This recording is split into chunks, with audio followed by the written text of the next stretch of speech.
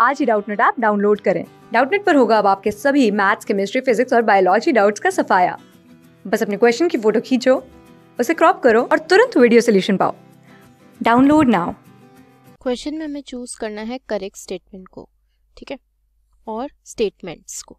तो फ़र्स्ट हमें दिया हुआ है shape of atomic orbital depend करती है एजीम्यूथल क्वांटम नंबर पे, ठीक है? तो यहाँ पे क्वांटम नंबर्स का कॉन्सेप्ट यूज़ किया गया है तो इसे हम समझते हैं ये होते क्या है?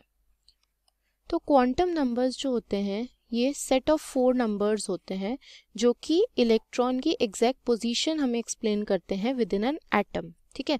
तो ये चार कौन से होते हैं, ये देखते हैं।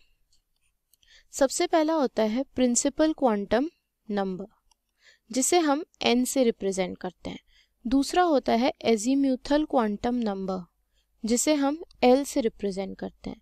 फिर आता है मैग्नेटिक क्वांटम नंबर जिसे हम M with the subscript S से रिप्रेजेंट करते हैं। और फिर फिर आता है स्पिन क्वांटम नंबर जिसे हम एस से रिप्रेजेंट करते हैं। तो जो प्रिंसिपल क्वांटम नंबर होता है, वो हमें मेन शेल के बारे में बताता है। जैसे के एल एम एन शेल्स होते हैं।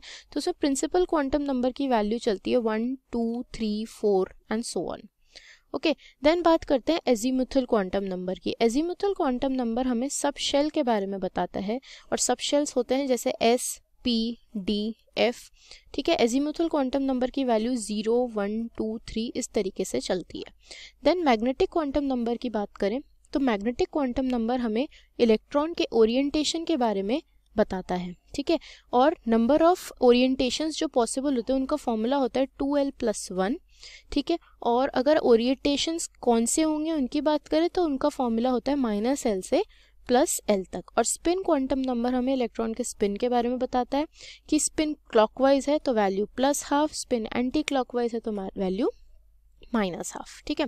अब सबसे पहले हमें दिया हुआ है कि ऑप्शन की शेप जो होती है एटॉमिक ऑर्बिटल की, वो एजीम्यूथल क्वांटम नंबर पर डिपेंड करती है। तो ये स्टेटमेंट करेक्ट है। क्यों करेक्ट है?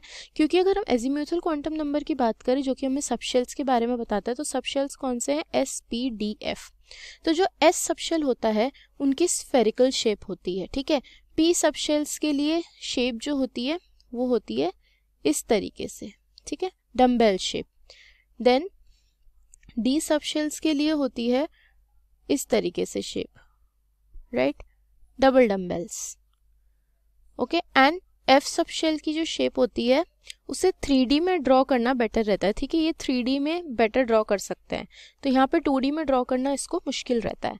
तो यहाँ पे एम ये है कि फ़र्स्ट स्टेटमेंट करेक्ट है यानी तो शेप के लिए स्टेटमेंट है जो कि करेक्ट है। फिर नेक्स्ट हमें दिया है कि ओरिएंटेशन जो होते हैं एटॉमिक ऑर्बिटल के, वो मैग्नेटिक क्वांटम नंबर बताता है। तो हम अभी यहाँ देख चुके हैं मैग्नेटिक क्वांटम नंबर ओरिएंटेशन के बारे में एक्सप्लेन करता है।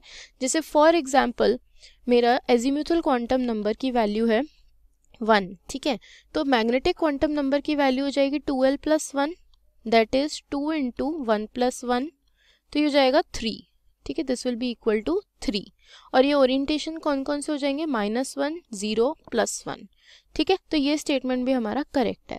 नेक्स्ट हमें दिया है energy of electron in an atomic orbital multi electron atom के लिए प्रिंसिपल क्वांटम नंबर ओनली पर डिपेंड करती है। तो ये स्टेटमेंट इनकरेक्ट है।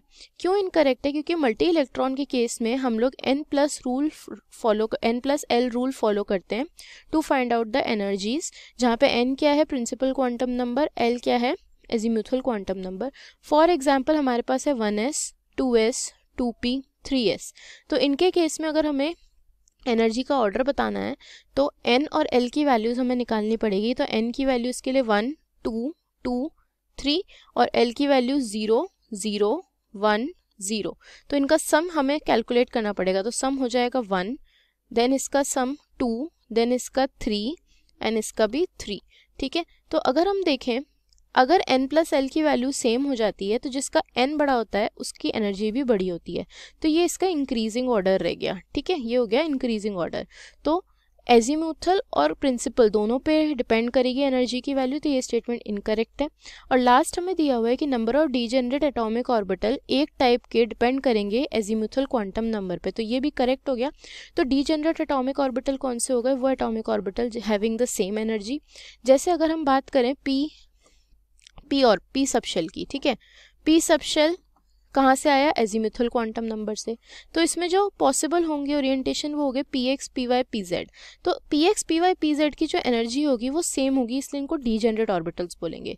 ठीक है? इसलिए ये भी करेक्ट हो गया। हमसे पूछा है करेक्ट स्टेटमेंट कौन कौन से हैं? तो वो कौन से हो गए? ए बी एंड डी ठीक है? ये हमारे तीनों करेक्ट हो जाएँगे। Thank you